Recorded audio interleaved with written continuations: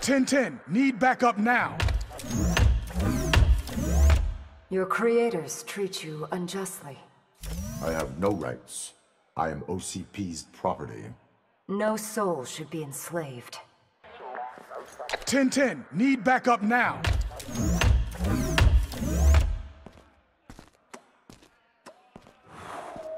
Your arms need an upgrade. Think OCP can help me out? You do not want them to own you. Round one. Fight.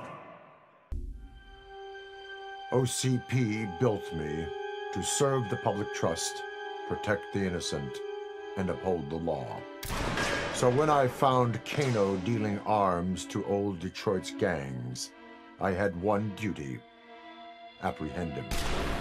I never thought the chase would take me to a different universe, let alone end in a fight with Kano's protector, Kronika.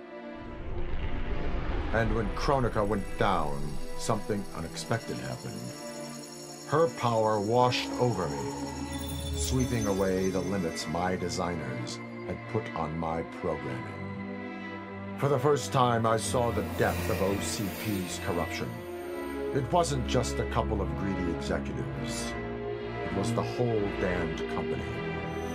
OCP is making a killing playing both sides, selling to cops and criminals.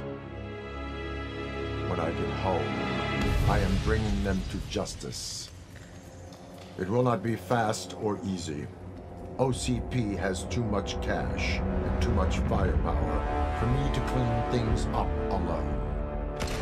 It is a good thing this will be an interagency effort. Welcome to the future of law enforcement.